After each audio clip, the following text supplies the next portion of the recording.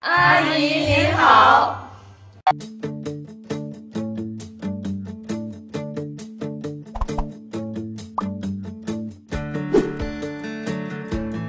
定是他。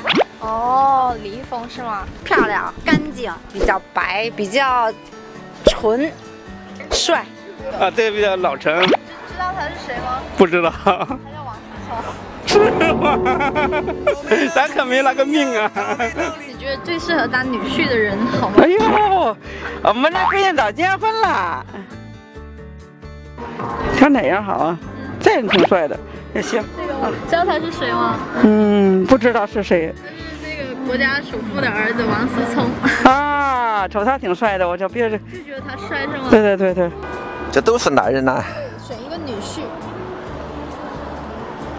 我要选这个人，这个人还很温顺啊，对对对对为什么，选他呢？这个人我看他很沉稳的，很稳重，知道他是谁吗？很沉啊，不知道他是高晓松提过之后的题。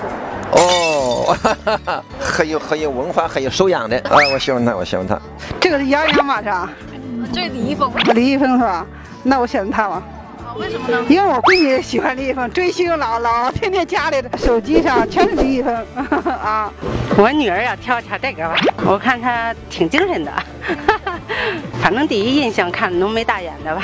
知道他是谁吗？不知道，他是李易峰。李易峰啊，哈哈，不知道。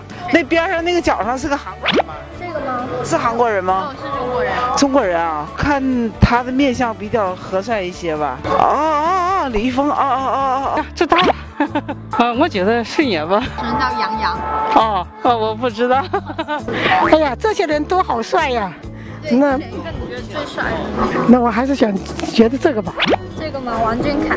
这是王俊凯啊。跟着我左手右手一个慢动作，右手左手慢动作重播。不过我不过我女婿也挺帅的。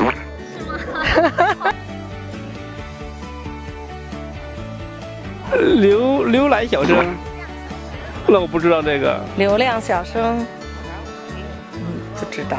啊，流量小生，知道是什么意思吗？嗯，流量我不知道。流量小生就是经常刷屏，经常曝光率对对对对，比较高。